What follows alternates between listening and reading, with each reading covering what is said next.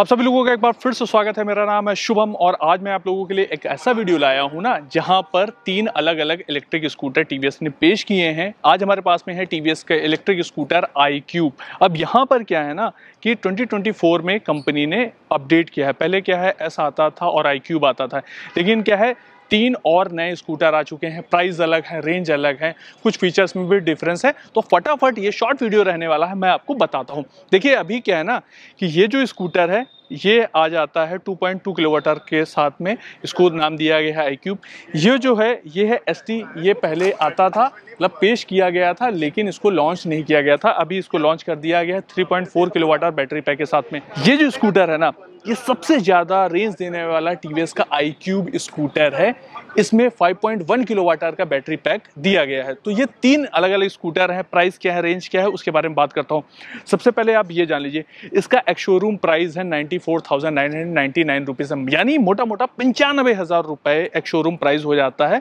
और ये टी के आई क्यूब में सबसे सस्ता इलेक्ट्रिक स्कूटर हो जाता है।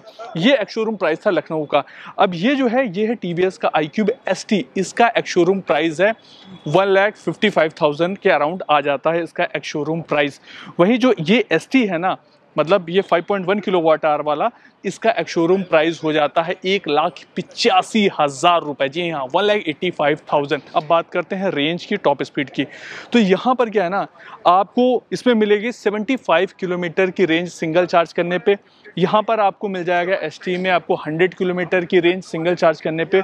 और जो टॉप मॉडल है एस में 5.1 किलोवाट आवर वाला, यहाँ पर आपको रेंज मिल जाती है 150 किलोमीटर की। टॉप स्पीड के बारे में बात कर लेते हैं। तो जो एसटी है इसमें टॉप स्पीड मिलती है 82 किलोमीटर की पावर मोड पे। इन सभी स्कूटर में दो मोड मिल, मिल जाते हैं। एक इको आ जाता है एक पावर आ जाता है। एसटी में क्या है? यहाँ पर आपको मिल जाती है 78 किलोमीटर पर आवर की स्पीड और यहाँ जो सबसे सस्ता इलेक्ट्रिक स्कूटर है टीवीएस का आई क्यूब यहाँ पर आपको टॉप स्पीड मिलती है 75 किलोमीटर की। अब बात करते हैं चार्जिंग की कितने घंटे में यह चार्ज होता है। जैसे मैंने आपको बताया ना 2.2 किलोवाट आवर का बैटरी पैक है तो इसको चार्ज होने में zero to eighty percent charge होने में दो घंटे में ये चार्ज कर देता है। 950 वाट का यहाँ पर चार्जर आ जाता है।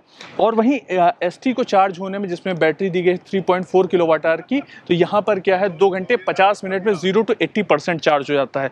और ये जो स्कूटर है ना S T five point kilowatt hour battery pack के साथ में, इसको चार्ज होने में लगभग साढ़े चार घंटे के आसपास लगता है। और क्या क्या चीज़ें हैं, उसके बारे में बात करता हूँ। यहाँ पर क्या है ना, अगर आप आते हो तो यहाँ पर फुली डिजिटल इंस्ट्रूमेंट क्लस्टर तो मिल ही जाता है। साथ में क्या है ये पूरा टच के साथ में आ जाता है। 118 कनेक्टेड फीचर मिल जाते हैं यहाँ पर आप डॉक्यूमेंट वगैरह भी सेव सेव कर सकते हो। कॉल आएगी वो आप यहाँ से रिसीव कट कर सकते हो। साथ में क्या है टन बाई टन नेविगेशन का मिल जाता है डॉक्यूमेंट वगैरह आप यहाँ पर सेव कर सकते हो। ये इधर आप यहाँ पर देख रहे हो ना ये एक स्टिक आ जाती है यानी एच का फीचर मिल जाता है। यहाँ से आप पूरा कंट्रोल कर पाते हो। और अगर मैं आता हूँ यहाँ पर आई क्यूब एस पे ये जो नॉर्मल वाला है, यहाँ पर सेवन इंच का ही मिलता है इसका इंस्ट्रूमेंट क्लस्टर लेकिन यहाँ पर मैं आपको दिखाना चाहूँगा, यहाँ पर टीपीएमएस का फीचर मिल जाता है एसटी जो 5.1 किलोवाट आवर का है, वहाँ पर भी मिल जाता है, लेकिन मेन जो डिफरेंस है वो चार्जिंग टाइम का रेंज का और बैटरी पैक का है।